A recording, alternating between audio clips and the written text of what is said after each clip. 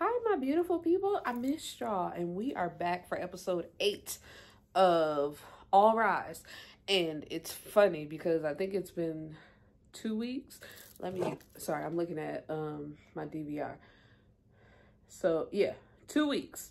And it's so funny because I I didn't cuss my daddy out, but I got attitude with him last Monday because I thought, no, it did come we missed a week and I was just like, why did my episode not record? Where's my episode? Did you delete it? Did it? He's like, I ain't delete nothing. Like, he's known for deleting stuff. Though. That's why I was like, did you delete my episode? But come to find out, it didn't come on.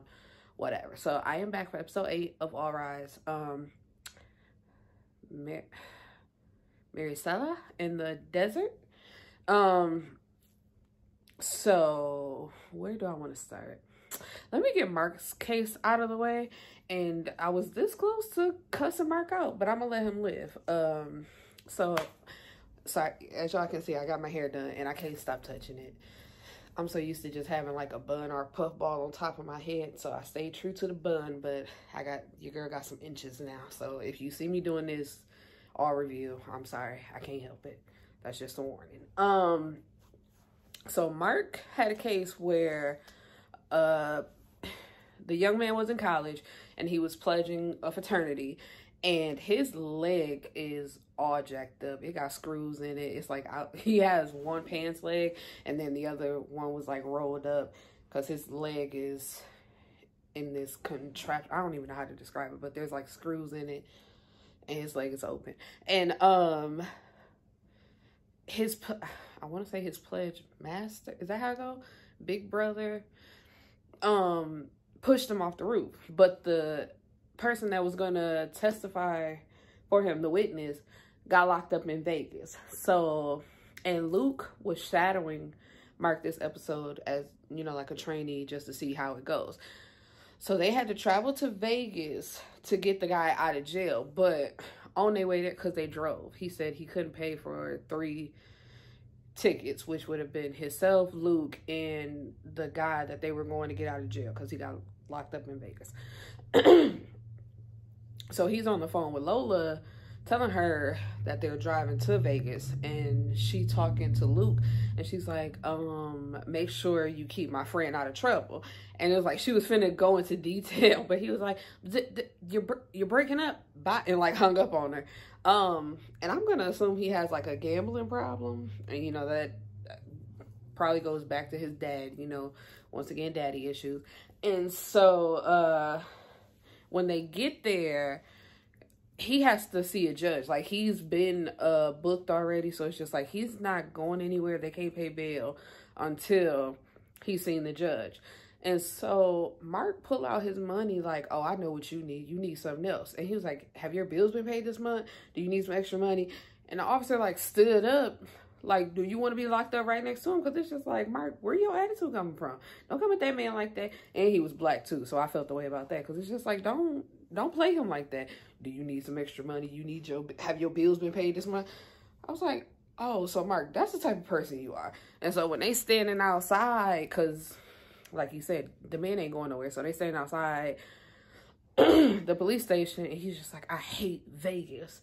So Luke go back in there by yourself, you know, black man to black man. They having a conversation. And he was like, do you know any late night judges? And the man was like, I might. So he look out for Luke.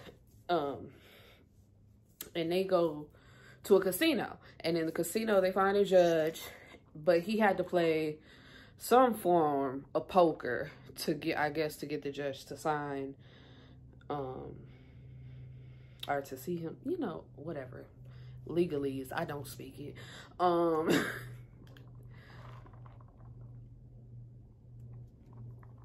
Today I'm drinking uh Rem I hate Remy, but it was given to me as a birthday present and I finally like cracked it open. So it's Remy and Pepsi today. It tastes okay, but it's can you I'm gonna show this to y'all. Can y'all see that? It's like real frothy and I just, I don't like the taste of Remy. People, a lot of people think it's better than Henny and I just don't think so. It's like, it's Henny and D'ussé. Those are my top two. Um, then it's Jack Daniel's honey. Then I'll do a Crown Royal apple. I like dark liquor. I will drink white if I have to, but I prefer that. Anyway, we're not here for that. Um, so they playing the game. I forgot what it was called, but I'm gonna need editing to be a little better because Mark literally slapped down. Cause they first the judge said two out of three, then he said six out of ten. But they showed them playing different hand games, and Mark literally throws down the same hand every game that makes him win the game. Um. The same is to be said about the other case with the little girl. Um, y'all didn't change her clothes because when the episode starts off and she's walking into the courtroom, she has on those same shoes and those same pants. All they did was change her shirt, but these are supposed to be different days or whatever. I'm like, y'all, y'all can do a quick outfit change. If Judge Carmichael can change out of them sharp ass clothes she be wearing, y'all can get this girl some more clothes. Um, so Mark wins. He gets uh his witness. They go back. The guy testifies that as a part of their pledging, they had to jump off of the roof into a nearby pool. Um the uh who was it? Mark's client, he was helping somebody else and he told them like if you don't want to do it, you don't have to because I don't want to do it either. We could just leave.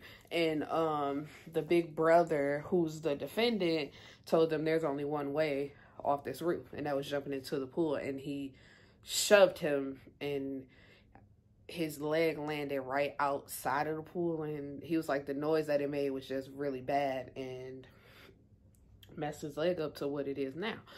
So that was Mark's case. Now we are on to the prosecutor I forgot, was it last episode or the episode before? Um, Emily's went against her before. I just don't like her. I don't like her attitude. But it's a case of nobody. They're trying to charge the defendant with murder, but there's nobody to the case. And they're going to have his daughter testify. And I'm putting that in quotations because technically she's the mother's daughter and he was the boyfriend. I don't even think they were married. Um, but for the last four years, she's been, uh, you know, his daughter, and he's been the only father that she knows. So it's like when she sees him, she calls him daddy, but then I guess somebody been telling her that that's not really her daddy because she'll switch up and be like, Felix, I mean Felix, or she'll be like, my dad, um, sorry, Felix, like, so I'm thinking like behind the scenes, somebody was telling her like, that's not really your dad. And come to find out, because she was gone for five days before Felix reported her missing. And um, she used to, she was a drug addict, but she had been clean for two years. She was going to work, going to her, I guess, AA meetings. Like she was on the right track. So it's pointing to him like, why didn't you report her missing? And the day I guess the day of or the day before she went um, missing, uh, they had a fight and sh she threw a vase at Felix, but Felix said that he told uh, Maricela that he did it. So when she was going to testify against him, that was the main point. Like, didn't your dad or didn't Felix throw a vase at your mom? And she was just like, I think so. And the prosecutor was like, no, you told the detectives that he did. And she was like, I said, I thought he did because that's what he told me. Um, and come to find out, she had a best friend who claimed that she heard them arguing in their driveway while uh Maricela was playing with her friend. And um, I believe she spoke in Spanish, saying that he said that to her. And when Emily went to go back to talk to Felix, he like, I like I know a little bit, but I don't know a lot to be saying what she said. I said, and um, basically, which was I'll kill you, I'll kill you in Spanish. And he was like, I didn't say that. And so she went to go talk to the detective, like, if he said what she said, he said, why didn't she uh like, why didn't, well, she asked her that. Like, if this is your friend and your friend was in danger, did you go out and, okay, sorry. She was like, where were you when it happened? And she was like, I was, um, I saw this through my window. She's like, did you go out and help her? And like her face just cracked. She was like, no. She was like, did you call the police? No. And it's just like, so your friend was in such immediate danger. You just watched from your window and didn't do anything to help her. And then uh, at that point, Marcella came in the courtroom. And Felix been trying to see her. He want to talk to her. He's just like, I love that little girl. Um, because of course with the mom being assumed dead and then him being in jail for her murder, there was nobody else to take care of her. So um she went into foster care. And so they had to stop court, you know, to get her out of there. And then um they had to go into the chambers because Judge Carmichael, she's just like, you need to control your client because he got up like trying to go to her. And um she's just like, it's not acceptable. Like, he cannot contact her. He can't talk to her. You need to get him under control. And so Emily and Judge Carmichael, like, they go back and forth for a minute. And she, uh, Emily was like, you know, Your Honor, it was not my idea to have her testify. It was yours. And she was like, you know, you're out of line. I made my decision. Um, long story short, the best friend is the one who actually killed her because they were doing drugs together again.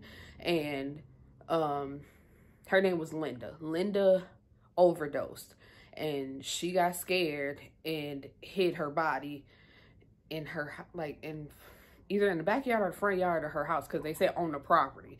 So her body is somewhere on the property.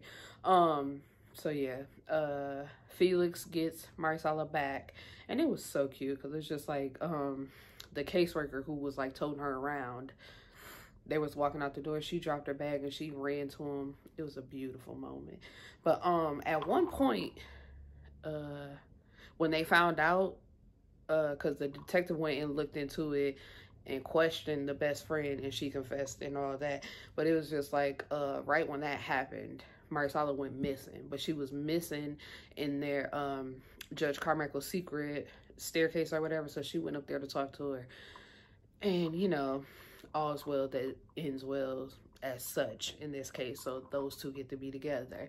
And Emily went to Judge Carmichael to try to apologize.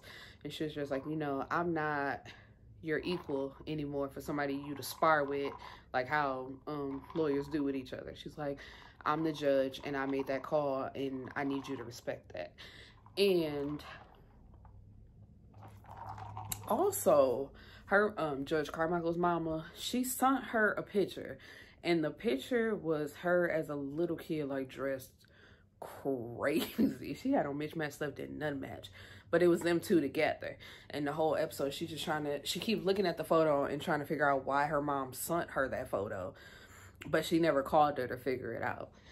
So yeah, that was episode eight. Um, episode nine is coming on tonight. I can't stay up that late. Even I'm on vacation. Well, it is a like a week. Um, I took off four days and then I'm taking off my regular four days. So yeah, I'll be home all week, but I'm still not gonna stay up that late. So I'll probably put that review up tomorrow. I'm trying to catch up on all my shows today and I'll probably be doing reviews all day because what else am I gonna do? So anyway, um, let me go watch uh Bluff City Law and I'll be back with y'all. Peace.